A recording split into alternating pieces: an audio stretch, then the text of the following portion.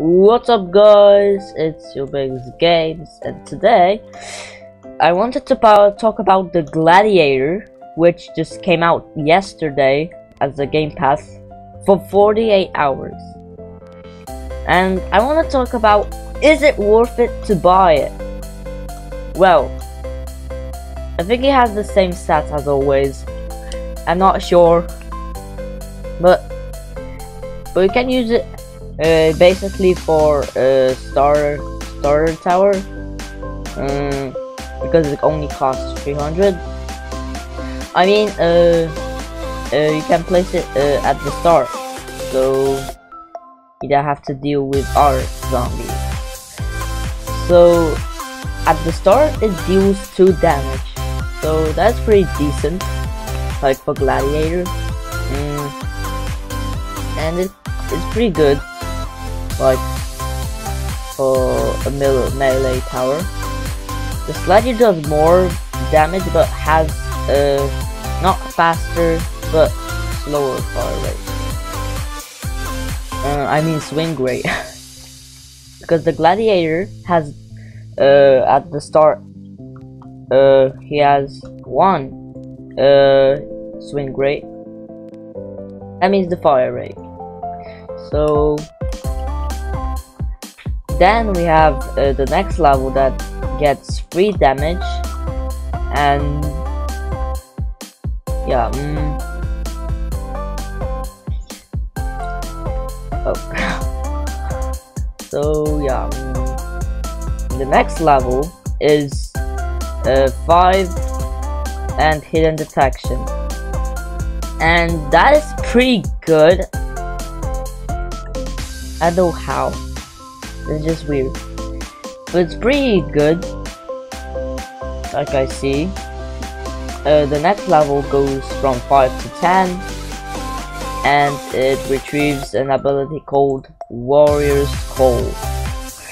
Uh, you wonder what that ability called and why. This is a, a boost of the swing rate. So, so when you activate the ability, then uh, the warrior I mean the gladiators, uh, swing rate just goes like shredded, like a shredder literally.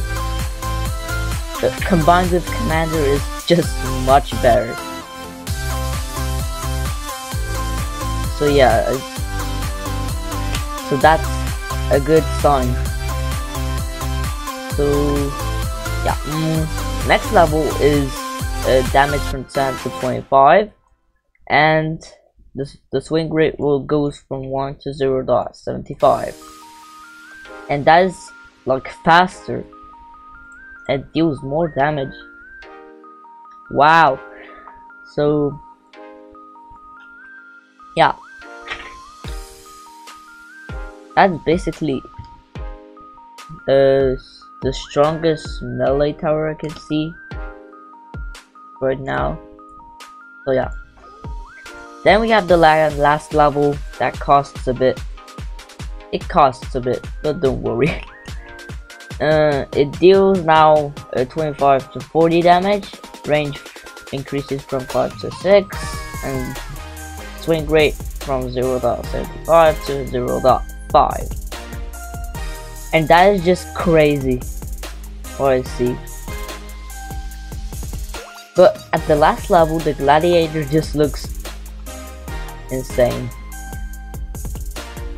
It just looks like uh, the Game Pass icon. So yeah, that's that's just crazy. Like for the Gladiator.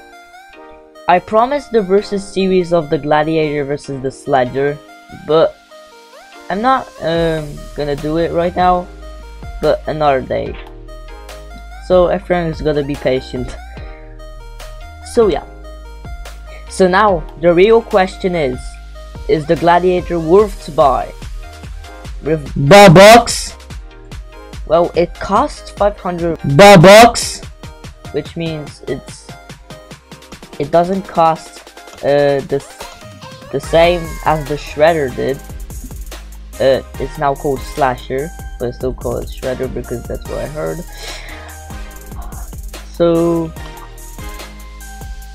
so the shredder was uh, 400 robux, uh, and the gladiator is 500 robux. So that means uh, the shredder could be like uh, less stronger than the gladiator. That means that's why, in my opinion, costs a lot of robux. And I think it's worth to buy. And why? Because it literally deals uh, a lot of damage on max level. It can be uh, pretty useful for hordes like the normal, normals and speedies, or the normal bosses that come out from these stupid mysteries, and much more.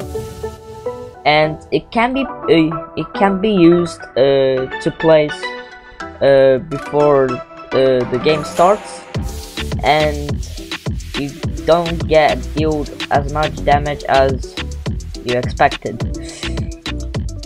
And this is the most epic thing. So I was testing the Gladiator for a bit, and yes, it is worth to buy. So the reasons is just basically it's strong enough to beat the slow boss.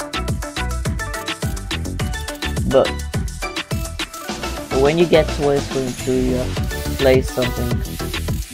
So yeah. Mm. So yeah, basically everything like for the video. And thanks for watching. And yeah, it's worth to buy. So go buy quick before it's gone forever. Because it will fly out to heaven. And here's the max level gladiator. Like from the icon. The game pass. Yeah. Just cool. Okay, anyways, thanks for watching, and see you guys tomorrow. Peace!